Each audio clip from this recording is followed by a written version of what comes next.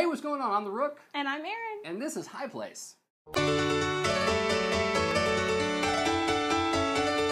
So High Place is a super awesome community located right on Parker Independence. Now Parker Independence is one of those squares that just have a whole lot of stuff there. You've got Tom Thumb, Little Caesars, Schlotzsky's, there's a place for gas. If you need to get your car inspected, it's there. You've got a WhirlyBall, you've got a half price or Play It Again Sports. You've got so much great stuff there. Uh, all these little shops, super awesome place to be. As far as uh, location goes, so close to 75, so close to the tollway, great place to be. Go check it out.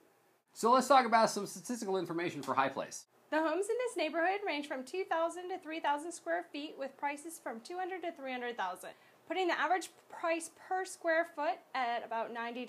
The homes are only lasting about 10 days on the market, so you want to act fast. This is a great home in the Plano School District. So if you want more information about High Place, you can check out all the links we got down below. But that's all we got for now. And remember that this is a game of life. Make your move.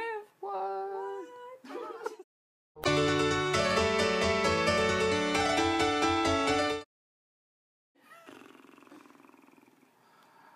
So, Awesome. no, man.